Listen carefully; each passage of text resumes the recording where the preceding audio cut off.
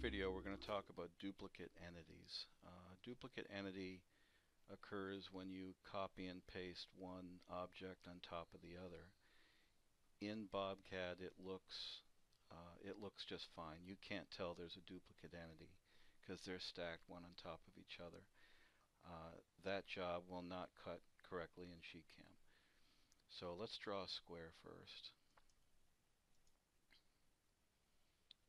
We'll demonstrate using the square. So let's do a, oh, say a 4 by 6 square. And drop it right there. Okay, cancel. Okay, so now we have we have these uh, four lines creating this rectangle. So what we're going to do is highlight that okay and we're going to just copy and paste and we can do that here or we can uh, use control C and control V which is what I'm going to do. So I'm going to say control C then I'm going to hit control V a number of times five or six times. Okay so we should we, we now have about five or six rectangles stacked on top of each other. Okay so we're going to escape out of that.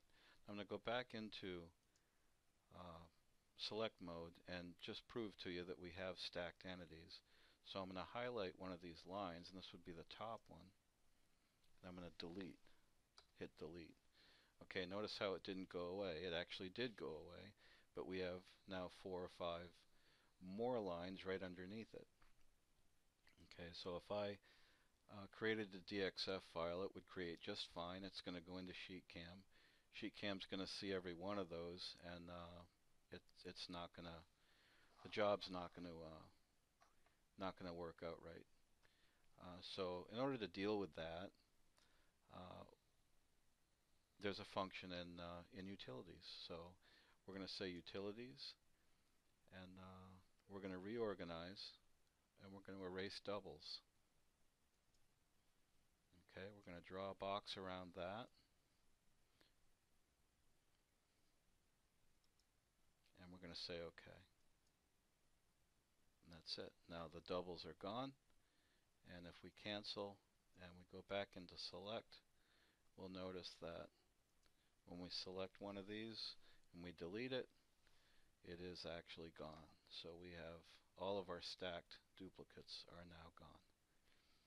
And uh, if, if you ever have a job in SheetCam where you have multiple start points, uh, it, it's not and, and SheetCam is not producing the offset uh, that you expect it is, just come back, uh, bring your DXF back into BobCAD and reorganize it and uh, erase those doubles.